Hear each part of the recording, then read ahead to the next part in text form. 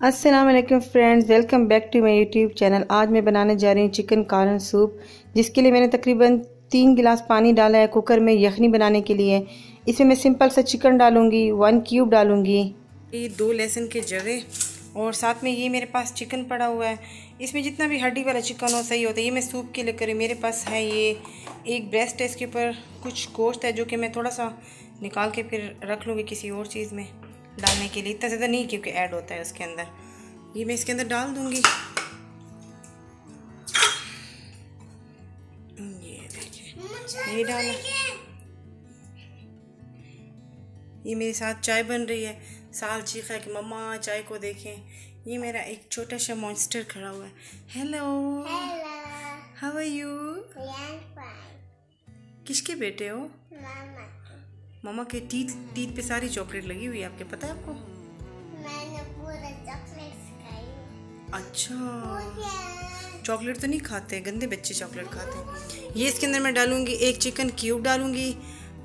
मैं साथ में मैं इसमें डाल दूँगी ये तकरीबन सात आठ ब्लैक पेपर्स और बस इस पर मैं कुकर बंद कर दूँगी। नहीं बल्कि इसके अंदर अभी मैंने कॉर्न भी डालने हैं। ये मेरे पास कॉर्न है मैं तो इस तरह से इसको काट लेती हूँ। छुरी से इसके ऊपर से। आप अगर इसको वैसे ही यूँ हटा सकते हैं, यूँ हटा लें। बाज़ लोग इसको बाद में बॉईल करते वक्त डालते हैं, लेकिन मैं इसको इसके साथ ही डालूँगी। थोड़ा सा फिर अच्छा सा सॉफ्ट सा हो जाए तो अच्छा लगता है। बस ये मैं इसके अंदर डाल दूँगी।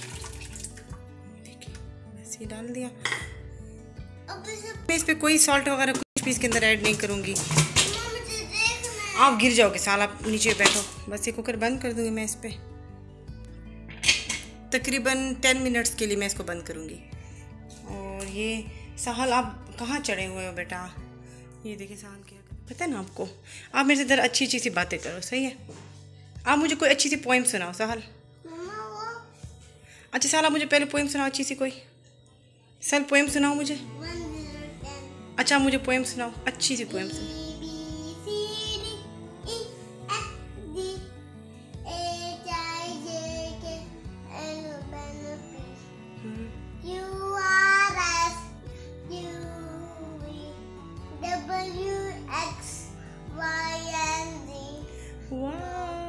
मेरा प्यारा बेटा।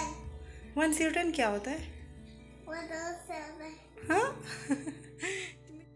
टेन मिनट हो चुके हैं अब मैं प्रेशर कुकर हटा लूँगी इससे और ये चिकन इसे बाहर निकाल के इसके रेशे कर लूँगी हड्डी अलग कर लूँगी। बाकी जो ये सारी यखनी मैं दूसरे देगचे में इसको ट्रांसफ़र करूँगी और ब्लैक पेपर मैं हाथ से ही हटा लूँगी इसमें। ये मैंने ट्रांसफ़र कर ली है दूसरे देगचे में।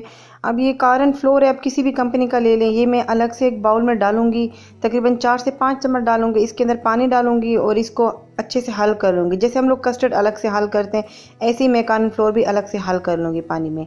और जो चिकन था, उसके मैंने रेशे बना लिए थे सारे। ये देखिए, इस तरह से सारा हल कर लूँगी मैं इसमें। इस तरह से। और जो चिकन के रेशे मैंने सारे अलग कर लिए थे तो उसमें से तकरीबन वन कप रेशे चिकन की वो मैं यखनी में ऐड कर लूँगी।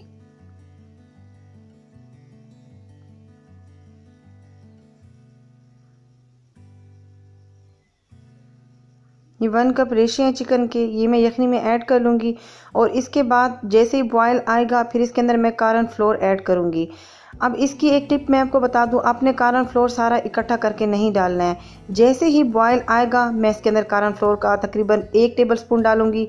उसके बाद उसको पका के फिर जैसे अगला बॉयल आएगा, फिर मैं इसके अंदर थोड़ा सा ऐड करूँगी। इस तरह मैं इसमें थोड़ा थोड़ा करके ऐड करूँगी। अगर हम सारा इकट्ठा डाल लेते हैं, फिर वो सारा बहुत थिक हो जाता है। हमें इसकी सही पता नहीं चलता है कि कितना हमें कितना थिक होना है और कितना पतला होना है। तो इसलिए जैसे, अब जैसे मैंने डाला है, अब इसको बॉयल आएगा। ये देखें, फिर मैं इसके अंदर फिर ऐड करूँगी। इसी तरह आपने पका पका के इसके अंदर डालना है। ये देखें, फिर आपको जितना भी थिक चाहिए आप जितना आप पसंद करते हैं, उतना आप थिक कर लें इसको। ये देखिए ऐसे। बॉयल आया और मैंने फिर इसके अंदर ऐड कर लिया। मैं इसके अंदर कोई और चीज़ नहीं ऐड करूँगी क्योंकि मैंने स्पेशल बच्चों के लिए रखा होता है। तो आपने जो भी चीज़ ऐड करनी होती है, मैं एंड में अलग से ऐड करती हूँ। अब इसके अंदर मैं दो अंडे डालूँगी। दो अंडे मैंने बॉयल करने के लिए रख दिए और दो इस तरह से मैं इसके अंदर ऐड करूँगी। इस तरह अलग से आप दो अंडे लेंगे और सिर्फ़ इसकी जर्दी में इस तरह कांटा लगा के बस सिर्फ़ सर्दी तोड़ दें, इसको मिक्स ना करें। बस इस तरह से तोड़ के। बस जैसे ही देखिए यखनी में बॉयल आ रहा है सूप में बॉयल आ रहा है, मैं इसके अंदर ये ऐड कर लूँगी। इसमें ज़ोर से चम्मच नहीं लेना, एक दो मिनट रुक के इस तरह आहिस्ते से चम्मच हिलाना ताकि अंडा अच्छे से अंदर तक पक जाए। ये देखें, बिल्कुल ऐसे ही, आहिस्ता से। ये देखिए, बिल्कुल ये पक के तैयार हो गए अंडा भी इसमें पक गया है। अब इसको मैं एक बाउल में डिश आउट कर लूँगी। ये देखें जी, ज़बरदस्त सा गर्मा गर्म कारण सूप तैयार हो गया है। ये इसके साथ में लाजमात हैं, चिली सॉस है, सोया सॉस है, सिरका है और ये सिरके के अंदर मैंने ग्रीन मिर्चें काट के इसके अंदर ऐड कर ली थी, एक दो घंटे रख ली थी। अब इसके अंदर मैं सारी चीज़ें आपको ऐड करके दिखाऊँगी। ये मैं आपको बाउल में डाल के दिखाऊँगी अभी, और साथ में मैंने दो बॉयल एग कर लिए थे, उनको भी काट के रख लिया है।